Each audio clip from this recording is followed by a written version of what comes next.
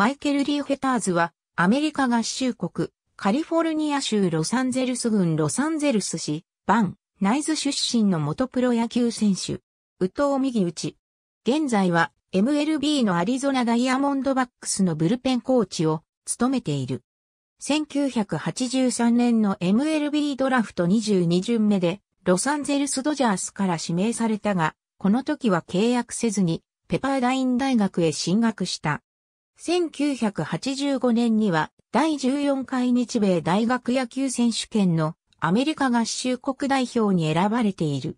1986年の MLB ドラフト1巡目追捕でカリフォルニアエンゼルスから指名され、プロ入り。1989年9月1日にメジャーデビュー。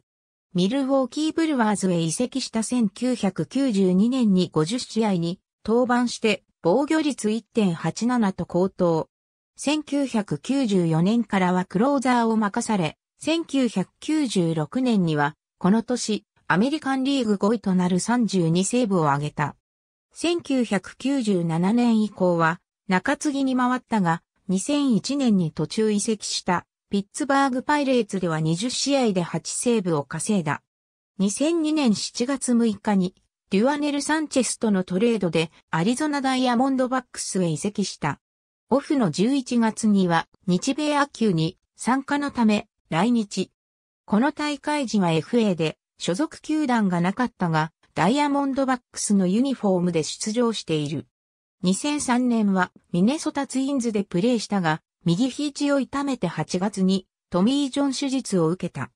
その後、一時は高校でバスケットのコーチをしていたが、2004年6月にダイヤモンドバックスとマイナー契約を結んだ。7月15日にメジャー復帰し、この年限りで引退した。